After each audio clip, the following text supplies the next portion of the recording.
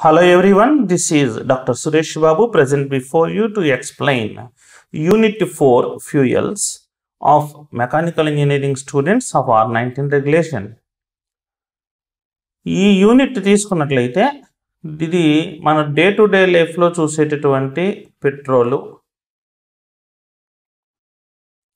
Diesel and అలాగే coal వీటి గురించి యూనిట్లో మనకు టోటల్గా డిస్కస్ చేస్తారు. కాబట్టి ఇది బాగా ఫెమిలియర్ అయినటువంటి యూనిట్ బాగా ఈజీ. స్టూడెంట్స్ ఒక్కసారి దీని గురించి జస్ట్ అవుట్లైన్స్ తెలుసుకుంటే చాలు ఆటోమేటిక్గా ఎగ్జామినేషన్లో డైరెక్ట్గా రాసేస్తారు. కాబట్టి జాగ్రత్తగా కాన్సన్ట్రేట్ చేస్తూ వినండి. సో దిస్ ఇస్ ఇంట్రడక్షన్ ఒకసారి మనం ఈ ఫ్యూయల్స్ యొక్క ఇంట్రడక్షన్ చూద్దాం. సో నేను మిమ్మల్ని ఒక చిన్న క్వశ్చన్ అడుగుతున్నాను. ఆ క్వశ్చన్కి ఆన్సర్ చేయడానికి ప్రయత్నం చేయండి. ఫ్యూయల్ అంటే ఏమిటి? What is meant by fuel fuel అంటే ఏంటి అంటే ఏదైనా మనకి మండి అంటే ఫైర్ అయ్యి దాని నుంచి మనకి హీట్ ప్రొడ్యూస్ అవుతూ ఉంటే ఎక్కువగా దాన్ని మనం ఫ్యూయల్గా ట్రీట్ చేస్తాం. Fuel is one which gives large amount of heat when you burn it okay suppose నేను ఇలా కోల్ తీసుకున్నాను. ఇది మనం కోల్ అని అనుకున్నాం. బొగ్గు అనమాట ఇది కోల్ ఈ కోల్ని మనం తీసుకున్నట్లయితే దీన్ని కనుక మనం బర్న్ చేసినట్లయితే అంటే దీనికి హీట్ ఇచ్చి ఇది ఫైర్ క్యాచ్ చేస్తుంది కదా. ఫైర్ కనుక ఇచ్చినట్లయితే దీని నుంచి లార్జ్ అమౌంట్ ఆఫ్ హీట్ బయటికి రిలీజ్ అవుతుంది. ఇలా లార్జ్ అమౌంట్ ఆఫ్ హీట్ బయటకు రిలీజ్ చేసే వాటిని ఫ్యూయల్స్ అని అంటారు. ఇప్పుడు మనకి ఒక చిన్న డౌట్ వస్తుంది. ఏంటి అంటే ఏదైనా మనం వేడి చేస్తే దాని నుంచి హీట్ బయటకు వస్తుంది కదా. కాబట్టి మనం దేన్నైనా బర్న్ చేస్తే ఆ బర్న్ చేసిన ప్రతిదాన్ని కూడా మనం ఫ్యూయల్ అని అనొచ్చా? That means can we call any material which gives heat upon burning no fuel అవ్వాలి అంటే కనుక దానికి కొన్ని లక్షణాలు ఉండాలి. అవి ఏంటి అంటే లార్జ్ అమౌంట్ ఆఫ్ హీట్ని ప్రొడ్యూస్ చేయాలి దాని నుంచి. రెండు దాని నుంచి టాక్సిక్ గ్యాసెస్ని రిలీజ్ చేయకూడదు. ఓకేనా అండి? ఈ రెండు లక్షణాలు ఒక ఫ్యూయల్కి కంపల్సరీ ఉండాలి. ఉదాహరణకి ప్లాస్టిక్ తీసుకున్నాం. ఈ ప్లాస్టిక్ని మనం కాల్చామనుకోండి దీని నుంచి కూడా మనకి హీట్ వస్తుంది బయటికి. అప్పుడు ఈ ప్లాస్టిక్ని మనం ఫ్యూయల్ అని అనొచ్చా అంటే we can't call it as a fuel why because ఇది బయటికి రిలీజ్ చేసేటువంటి గ్యాసెస్ కొన్ని రకాలైనటువంటి టాక్సిక్ గ్యాసెస్ కూడా కలిసి ఉంటాయి. హ్యూమన్ బీయింగ్ చనిపోతారు. ఈ గ్యాసెస్ కనుక ఎక్కువగా పీల్చినట్లయితే ఎన్విరాన్మెంట్ అంతా కూడా పొల్యూట్ అయిపోతుంది. చాలా చాలా జీవులు చనిపోతాయి. ఓన్లీ ప్లాస్టిక్ని మనం తీసుకెళ్ళి ఫ్యూయల్గా యూజ్ చేసినట్లయితే. కాబట్టి we should not call it as a fuel is it clear at the same time fuel అనే దానికి ఉండాల్సిన లక్షణాల్లో ముఖ్యమైన లక్షణాలు అవైలబిలిటీ ప్లెంటీగా ఉండాలి. ఎక్కువగా ఇది మనకి అవైలబుల్ అవుతూ ఉండాలి. సపోజ్ నువ్వు కోల్ తీసుకున్నావు అనుకో బొగ్గుని ఆ కోల్ ఏమవుతుంది? మనకి ప్రపంచంలో చాలా చోట్ల ఇది దొరుకుతూ ఉంటుంది. సో ఇది మనకి దొరుకుతూ ఉంటుంది. అట్ ద సేమ్ టైము ఇది హీట్ చేసినట్లయితే దీని నుంచి ఫైర్ వస్తుంది. మంటలాగా నీకు పూర్తిగా కనిపించకపోయినా దీని నుంచి గట్టిగా హీట్ బయటకు వస్తుంది. ఆ హీట్ వస్తుంది కాబట్టి దీని నుంచి టాక్సిక్ గ్యాసెస్ రిలీజ్ అవ్వవు కాబట్టి ఈ కోల్ని మనం ఏమన్నాము? ఫ్యూయల్ అని చెప్పేసి మాట్లాడాము. ఇప్పుడు మనకి ఇంకో డౌట్ వస్తుంది. సో టాక్సిక్ గ్యాసెస్ రాకూడదు అన్నారు కదా మరి దేనైనా మనం బర్న్ చేసినట్లయితే అంటే పెట్రోల్ కానీ లేదంటే డీజిల్ కానీ కోల్ కానీ వీటిని బర్న్ చేసినట్లయితే మనకు బయటికి కార్బన్ డైఆక్సైడ్ గ్యాస్ రిలీజ్ అవుతుంది కదా మరి అది టాక్సిక్ కాదా? కార్బన్ డైఆక్సైడ్ గ్యాస్ టాక్సిక్ కాదు. కానీ అన్డిజైరబుల్. మనకి దాని అవసరం లేదు. అంటే ఆ గ్యాస్ పీల్చడం వల్ల మనం వెంటనే చనిపోవడం లాంటిది ఏది జరగదు. లాంగ్ టర్మ్లో వచ్చినట్లయితే గ్లోబల్ వార్మింగ్ అని ఇలాంటి కొన్ని ఎఫెక్ట్స్ దానిలో మనకు కనిపించవచ్చు తప్ప దాని నుంచి వచ్చేటటువంటి టాక్సిటీ అంటూ ఏమీ ఉండదు. కాబట్టి ఫ్యూయల్ అని ఎవరన్నా మాట్లాడినట్లయితే మనం ఈ విషయాలను సహజంగా మైండ్లో గుర్తుపెట్టుకోవాలి. ఏంటి విషయాలు అంటే అది లార్జ్ అమౌంట్ ఆఫ్ హీట్ని రిలీజ్ చేయాలి. Is clear? తర్వాత స్వతహాగా అది దాని అది మండుతూ ఉండాలి. Suppose if you give fire to a fuel it must continue that fire. దాని ఫైర్ని కంటిన్యూ చేసుకుంటూ వెళ్తూ దాని తర్వాత స్వతహాగా బర్న్ అవుతూ ఉండాలి. At the same time it should not release any toxic gases and it should be available in plenty at all places nearly at all places in the world ఇవన్నీ లక్షణాలు కనుక దేనికన్నా ఉన్నట్లయితే దాన్ని మనం ఫ్యూయల్ అని చెప్పేసి అంటాం. ఇస్ అట్లే ఇది మనకు చాలా తెలిసిన విషయమే. ఫ్యూయల్స్ ఎన్ని వెరైటీస్ ఉంటాయి? What are the types of fuels ఫ్యూయల్స్ని తీసుకున్నట్లయితే మనకు ముఖ్యంగా మూడు రకాలైనటువంటి ఫ్యూయల్స్ బాగా తెలుసు. Solid fuels yes liquid fuels. మీకు అర్థమైపోయింది. నెక్స్ట్ ఏమవుతుంది గ్యాషియస్ ఫ్యూయల్స్. సాలిడ్ ఫ్యూయల్స్ అంటే నేను దేన్ని మైండ్లో ఉంచుకుని చెప్తున్నానంటే కోల్. బొగ్గుని మైండ్లో పెట్టుకున్నాను. ఇంకా రక వేరే రకాలైన సాలిడ్ ఫ్యూయల్స్ కూడా ఉంటాయి. మనకి లెసన్ పరంగా మాట్లాడాలంటే నేను కోల్ని మైండ్లో ఉంచుకుని సాలిడ్ ఫ్యూయల్ అంటే ఏంటో చెప్తున్నాను. లిక్విడ్ ఫ్యూయల్ అన్న అని మాట్లాడినప్పుడు చాలా సందర్భాల్లో నేను పెట్రోల్ని మనసులో ఉంచుకుని మాట్లాడుతూ ఉంటాను. ఏమంటే పెట్రోల్ అయినా లిక్విడ్ ఫ్యూల్ అంటే కాదండి ఇంకా చాలా ఉన్నాయి మనకి. డీజిల్ ఉంది కిరోసిన్ ఆయిల్ ఉంది ఇంకా different type of liquid fuels ఉన్నాయి. కానీ లెసన్ పరంగా మాట్లాడాలంటే పెట్రోల్ని నేను మైండ్లో పెట్టుకుని మాట్లాడుతూ ఉంటాను. గ్యాషియస్ ఫ్యూయల్స్ అంటే నేను ఎల్పిజి గ్యాస్ని మైండ్లో ఉంచుకుంటాను. అంటే నేను ఈ గ్యాషియస్ ఫ్యూయల్స్ అని మాట్లాడినప్పుడు ఈ లెసన్లో ఎక్కువ భాగం దేన్ని నేను ఐడియాలో ఉంచుకుని మాట్లాడుతూ ఉంటానంటే లిక్విఫైడ్ పెట్రోలియం గ్యాస్ మన ఇళ్ళలో ఉంటుంది కదా గ్యాస్ సిలిండర్ ఆ ఎల్పిజి గ్యాస్ని మైండ్లో ఉంచుకుని మాట్లాడుతున్నాను. ఇప్పుడు వీటి గురించి ఒక చిన్న జనరల్ డిస్కషన్ చేద్దాం. ఇంట్రొడక్షన్ అని అన్నారు కాబట్టి ఒక చిన్న జనరల్ డిస్కషన్ ఇది ప్రీవియస్ సిలబస్లో ఇప్పుడు నేను చెప్పేటటువంటి డిస్కషన్ ఫైవ్ మార్క్స్ క్వశ్చన్గా అడిగేవాళ్ళు అనమాట చూడండి సాలిడ్ అని కోల్ అని అన్నారు. ఇప్పుడు నా క్వశ్చన్ ఏమిటి అంటే ఈ మూడిట్లో ఏది better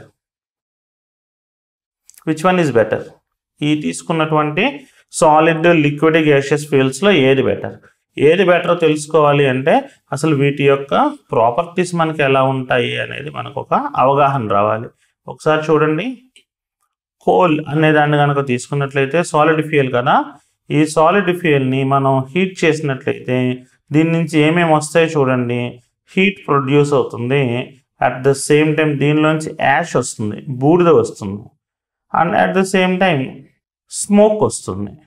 పొగ. అంటే దీన్ని మనం సూట్ ఫార్మ్ అయింది అని అంటాం. సూట్ అంటే మసి ఫార్మ్ అవుతుంది దీని నుంచి. అదే లిక్విడ్ ఫ్యూయల్ కనుక మనం తీసుకున్నట్లయితే దీని నుంచి హీట్ ప్రొడ్యూస్ అవుతుంది. At the same time ash content మాత్రం రాదు. కాకపోతే దీని నుంచి మనకి స్మోక్ వస్తుంది.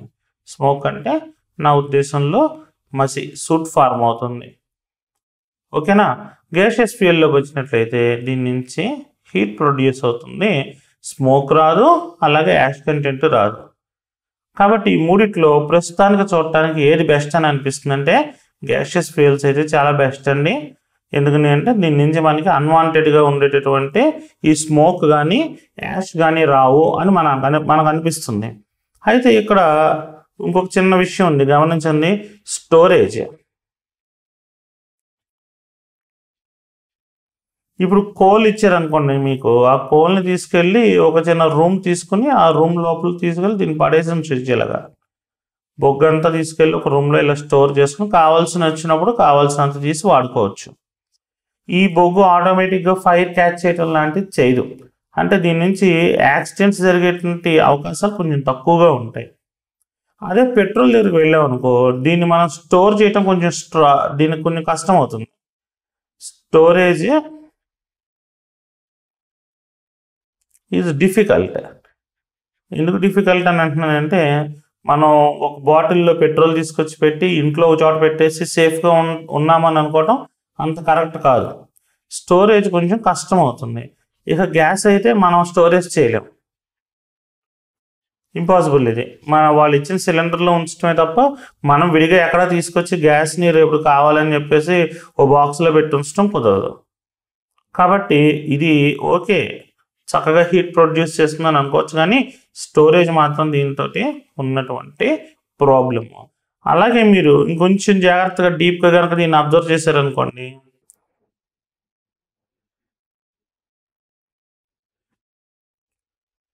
ఇది ఫాస్ట్గా ఫైర్ని క్యాచ్ చేయదు.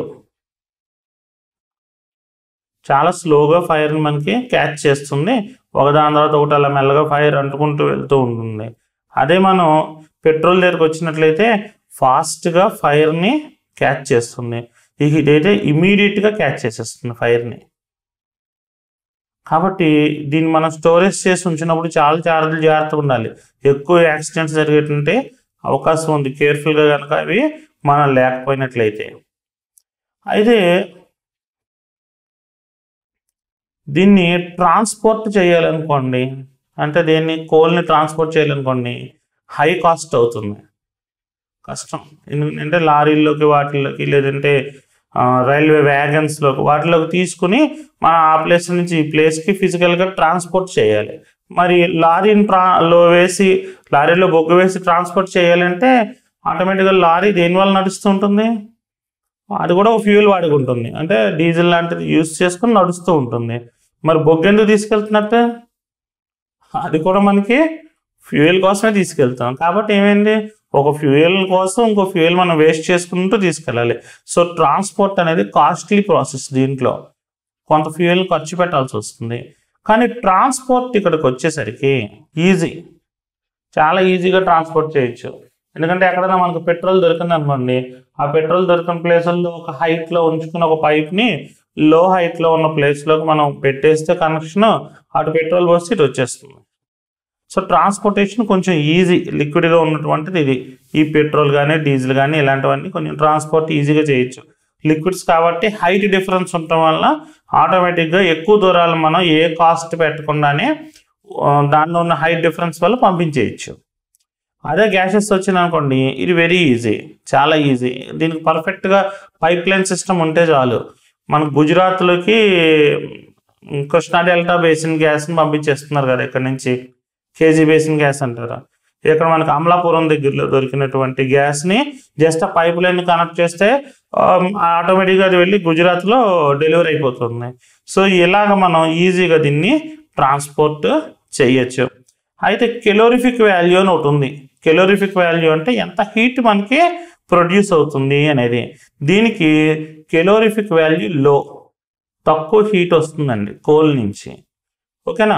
అదే మనం పెట్రోల్ కనుక తీసుకున్నట్లయితే దీనికి కెలోరిఫిక్ వాల్యూ ఎక్కువగా ఉంటుంది. హై కెలోరిఫిక్ వాల్యూ దీని యొక్క కెలోరిఫిక్ వాల్యూ అయితే హైయెస్ట్ కెలోరిఫిక్ వాల్యూ ఈ గేషియస్ ఫ్యూయల్స్కి ఉంటుంది. అర్థమైందండి? This is the introduction part for the fuel introduction నుంచి మనం నేర్చుకున్నది ఏంటి? ఒకసారి రీకాల్ చేద్దాం ఏం నేర్చుకున్నాం అనేది. ఫ్యూయల్ అంటే కంబషన్ చేసినప్పుడు లార్జ్ అమౌంట్ ఆఫ్ హీట్ని ప్రొడ్యూస్ చేయాలి. టాక్సిక్ గ్యాసెస్ని ప్రొడ్యూస్ చేయకూడదు. అది అన్ని చోట్ల ప్లెంటీగా అవైలబుల్ అవుతూ ఉండాలి. ఇలా ఉన్నటువంటి దాన్ని మనం ఫ్యూయల్ అని చెప్పేసి అంటాం. Fuel is one which gives large amount of heat when it was burnt okay it should be available plenty and it should not release any toxic gases. These are the good qualities for a good fuel ఇలా ఉన్నటువంటి fuels మూడు varieties అని చెప్పుకున్నాం. ఒకటి solid fuel రెండు liquid fuel మూడోది gaseous fuel అర్థమైందండి right ఇక రెండోది కిలోరిఫిక్ వాల్యూ కిలోరిఫిక్ వాల్యూ అంటే ఏంటి? హెచ్సివి అంటే ఏంటి? ఎల్సివి అంటే ఏంటి? వీటి గురించి మనకు అడుగుతున్నారు. ఈ కెలోరిఫిక్ వాల్యూ అంటే ఏంటి అంటే సింపుల్ డెఫినేషన్స్ ఆ డెఫినేషన్స్ మనం తెలుసుకుంటే సరిపోతుంది. ఇప్పుడు దీనికి సంబంధించి ప్రీవియస్లో అయితే మనకి బాంబు కిలోమీటర్ అని ఉండేది. బాంబు కిలోరీమీటర్ ఆ ఎక్స్పెరిమెంట్ కనుక మీకు చెప్పినట్లయితే ఆటోమేటిక్గా అది ఏమిటి అనేది మనకి ఈజీగా తెలిసిపోతుంది. కెలోరిఫిక్ వాల్యూ హెచ్సివి అంటే ఏంటి? ఎల్సివి అంటే ఏంటి? అనేది. మరి ఇక్కడ మీకు సిలబస్లో స్పెసిఫిక్గా చెప్పలేదు కాబట్టి నేను బ్రీఫ్గా చూపిస్తాను దాన్ని ఒకసారి. సో కెలోరిఫిక్ వాల్యూ అంటే ఏమిటి? ఏదైనా ఒక పదార్థాన్ని మనం తీసుకున్నట్లయితే ఆ పదార్థాన్ని మనం బర్న్ చేసినట్లయితే ఎంత హీట్ మనకి ప్రొడ్యూస్ అవుతూ ఉంటుందో దాన్ని మనం కెలోరిఫిక్ వాల్యూస్లో కొలుస్తూ ఉంటాం. ఓకేనండి? If you take one gram of any substance and when you burn it the amount of heat release from it is called a calorific value దాన్ని మనం మెజర్ చేసేటప్పుడు చూడండి మనం డాక్టర్స్ దగ్గరికి వెళ్తే మీరు ఫలానా ఫుడ్ తింటే ఇన్ని కెలోరీస్ ఎనర్జీ వస్తుంది. ఈ జామకాయ తింటే ఎంత ఎనర్జీ వస్తుంది. యాపిల్ తింటే ఇంత ఎనర్జీ వస్తుంది. మీరు ఆయిల్ ఫ్యాట్ తీసుకుంటే ఇంత ఎనర్జీ వస్తుంది. రైస్ కార్బోహైడ్రేట్స్ తీసుకుంటే ఎంత ఎనర్జీ వస్తుంది అని ప్రత్యేకంగా చెప్తూ ఉంటారు. ఇవన్నీ దేనిలో మెజర్ చేస్తారు అంటే ఈ కెలోరిఫిక్ వాల్యూస్లోనే మనకి మెజర్ చేస్తారు. ఏ పదార్థాన్ని అయితే నువ్వు కెలోరిఫిక్ వాల్యూ మెజర్ చేయాలని అనుకుంటున్నావో ఆ పదార్థాన్ని ఇదిగోండి ఇందులో పెడతారు. కనిపిస్తుందండి? కొంచెం దగ్గరగా పెడతాను చూడండి. కనిపిస్తుందా? ఏ పదార్థం యొక్క కెలోరిఫిక్ వాల్యూను మెజర్ చేయాలనుకుంటున్నామో దాన్ని దీంట్లో పెట్టాలి. ఈ కెలోరి ఈ పదార్థాన్ని మనం కాసేపు కోల్ అనుకుందాం. బొగ్గు. వన్ గ్రామ్ కోల్ నేను తీసుకెళ్ళి తీసుకుని ఈ క్రూసిబుల్లో పెట్టాను. క్రూసిబుల్ అంటే ఈ పాత్ర. ఏ పాత్ర అయితే ఇక్కడ కనిపిస్తున్న దాన్ని క్రూసిబుల్ అని చెప్పేసి అంటారు. ఈ క్రూసిబుల్లో పెట్టి దీనికి లోపలికి సిక్స్ వోల్ట్స్ బ్యాటరీ తోటి పవర్ని ఇచ్చాను. ఎలా? ఇలా రెండు ఎలక్ట్రోడ్స్ దిగాయి ఇక్కడ స్మాల్ వైర్స్ ఉంటాయి. ఇవి స్మాల్ వైర్స్ అన్నమాట. వీటిని ఫ్యూజ్ ఫ్యూజ్ వైర్స్ అని చెప్పేసి అంటారు. మనం దీపావళిలో యూజ్ చేస్తాం. తాడు అని కలుస్తాం చూసారా? ఆ మెగ్నీషియం ఫ్యూజ్ వైర్ ఆ మెగ్నీషియం ఫ్యూజ్ వైర్ని దీన్ని కనెక్ట్ చేస్తారు. కనెక్ట్ చేసి ఈ సిలిండర్ నిండా సిలిండర్ అంటే నా ఉద్దేశం ఇదిగోండి ఇది చూసారా? నేను గీస్తున్నాను. చూస్తున్నారా?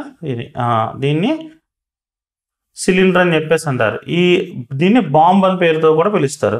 ఈ సిలిండర్ నిండా ఏం చేస్తారంటే ఇక్కడ ఆక్సిజన్ కనిపిస్తుంది చూసారండి? ఇదిగోండి ఆక్సిజన్ గ్యాస్. ఈ ఆక్సిజన్ గ్యాస్ని ఒక వాల్వ్ ద్వారా లోపలికి పంపిస్తారు. సో ఈ సిలిండర్ నిండా మనకి ఏముంది అంటే ప్రస్తుతం ఆక్సిజన్ గ్యాస్ ఉంది. ఏ పదార్థమైనా మండటానికి కావాల్సింది ఏంటండి ఆక్సిజన్ గ్యాస్ కదా. ఆ ఆక్సిజన్ గ్యాస్ని దీంట్లో పూర్తిగా మనం నింపివేశాము. ఇస్ దట్ క్లియర్ దీన్ని మనం ఎస్ బాంబ్ కిలోరీమీటర్ అంటారు.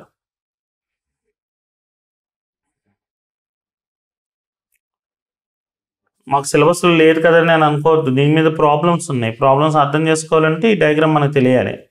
సో దీన్ని ఎస్ బాంబ్ కిలోరీమీటర్ అంటారు. ఎస్ అంటే స్టీల్ అని. ఓకే ఇది స్టీల్ వెసల్ అనమాట ఒక స్టీల్ వెసల్ తీసుకుని దానిలో అంతా ఆక్సిజన్ నింపారు.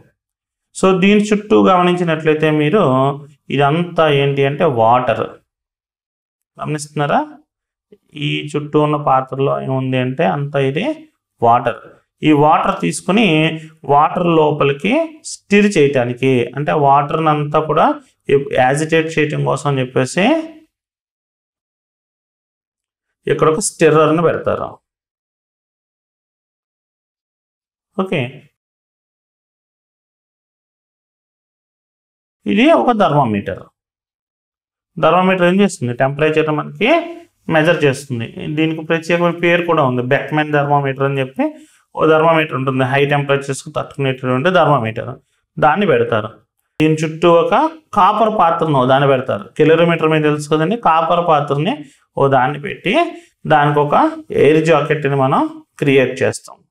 ఎయిర్ జాకెట్ అంటే ఈ పాత్రని ముట్టుకోకుండా ఈ రెండింటి మధ్యలో గ్యాప్ ఉంచుతాం. గ్యాప్ ఉంచి దాని చుట్టూ వేరొక వెసల్ని పెట్టేసి ఉంచుతారు. ఈ వెసల్ని పెట్టేసి ఉంచారు అంటే నా ఉద్దేశం దీంట్లో వాటర్ని రన్ చేస్తూ ఉంటారు. ఎందుకు ఇదంతా చేస్తున్నారంటే బయట నుంచి ఏ టెంపరేచర్ని ఇది తీసుకోకూడదు. బయట నుంచి నా ఉద్దేశం బయట నుంచి హీట్ ఏదైనా ప్రొడ్యూస్ అయితే ఆ హీట్ని మనం లోపలికి ఇవ్వకూడదు. లోపల నుంచి ప్రొడ్యూస్ అయ్యే హీట్ బయటికి రాకూడదు. మొత్తం అంతా కూడా దీని లోపలే మనకి ప్రెజెంట్ అయిపోయి ఉండాలి. అందుకోసమని ఇటువంటి అరేంజ్మెంట్ చేసాం ఈ అరేంజ్మెంట్ చూడండి ఇక్కడ మనం ఏ పదార్థం యొక్క కిలోరిఫిక్ వాల్యూ మెజర్ చేయాలనుకున్నామో దాన్ని ఈ క్రూసిబుల్లో తీసుకున్నాం ఇక్కడ ఫ్యూజ్ వైర్స్ని తీసుకున్నాం. ఈ ఫ్యూజ్ వైర్స్ నుంచి ఇక్కడ ఒక బ్యాటరీకి మనం దీన్ని కనెక్ట్ చేసాం దీని చుట్టూ వాటర్ పోసాం. దేంట్లో పోసాం అంటే ఒక కాపర్ కిలోరీమీటర్ అంటే ఒక కాపర్ పాత్రలో నీళ్ళు పోసి ఉంచాం. ఆ నీళ్ళ యొక్క టెంపరేచర్ని మెజర్ చేయడానికి ధర్మమీటర్ ఉంది. అలాగే నీళ్ళని యాజిటేట్ చేయడానికి ఒక చిన్న యాజిటేటర్ పెట్టాం. కొద్దిగా దూరం పెట్టి అంటే దీని ఎయిర్ జాకెట్ అంటారు. ఈ ఏరియా అంతా ఎయిర్ జాకెట్ కొంచెం దూరంగా పెట్టి వేరొక పాత్రని దీని చుట్టూ తిప్పేసాం. ఈ పాత్రలో అంటే చిన్న ట్యూబ్ లాగా ఉంటుంది ఇది. దీని లోపల వాటర్ పోసేస్ ఉంచుతారు. ఇది అట్లా ఇప్పుడు ఏం చేస్తారంటే ఇక్కడ ఉన్నటువంటి ఈ బ్యాటరీని కనెక్ట్ చేస్తాం. ఎప్పుడైతే బ్యాటరీ కనెక్ట్ చేస్తామో అది వచ్చి పదార్థానికి వచ్చి ఈ రెండు ఫ్యూజ్ వైర్స్ నుంచి దీనికి ఫైర్ని ఇస్తుంది. ఫైర్ ఇవ్వగానే వెంటనే ఇది ఒక్కసారి తోటి బర్న్ అయిపోతుంది. అసలు లేట్ తీసుకోదు. ఎందుకంటే బర్నింగ్ అవడానికి కావాల్సిన ఆక్సిజన్ అంతా దీంట్లో మనం నింపేసి ఉంచాం కాబట్టి ఒకేసారి ఇది బర్న్ అవుతుంది. బర్న్ అవ్వగానే ఈ మొత్తం పాత్ర అంతా వేడెక్కుతుంది. అంటే ఈ బాంబ్. దీని బాంబ్ అని ఎందుకు అంటున్నారంటే ఒక పెద్ద విస్ఫోటనం జరిగినట్టుగా సౌండ్ వస్తుంది. టాప్ అని ఒక సౌండ్ వస్తుంది అనమాట పేలినట్టుగా సౌండ్ వస్తుంది. ఆ ఒకేసారి బర్న్ అయ్యేసరికి. అలా బాంబులా పేలుతుంది కాబట్టి దీన్ని బాంబు కిలోమీటర్ అని పిలుస్తున్నాం. సో ఇది దీనిలో ఉన్న హీట్ కాస్త దీనిలోకి వస్తుంది అంటే వాటర్లోకి వస్తుంది. వాటర్ అంతా కూడా కాన్స్టెంట్గా ఇది యాజిటేట్ చేసేస్తుంది. ఈ స్టిరర్ అప్పుడు టెంపరేచర్లో వచ్చిన చేంజ్ని మెజర్ చేసి కొన్ని రకాల క్యాలిక్యులేషన్స్ ఉంటాయి. వాటిని వేసి దీని నుంచి ఎంత హీట్ ప్రొడ్యూస్ అయింది అనే విషయాన్ని మనం ఈజీగా ఎస్టిమేట్ చేయొచ్చు. ఇది ఆల్రెడీ మనం లోయర్ క్లాసెస్లో ఎయిత్ క్లాస్ నైన్త్ క్లాసులు ఆ టైమింగ్స్లో దీని గురించి చూసాం. స్టేట్ సిలబస్లో ఉంది. కాబట్టి ఇది బాంబు కిలోరీమీటర్ అర్థమైందండి?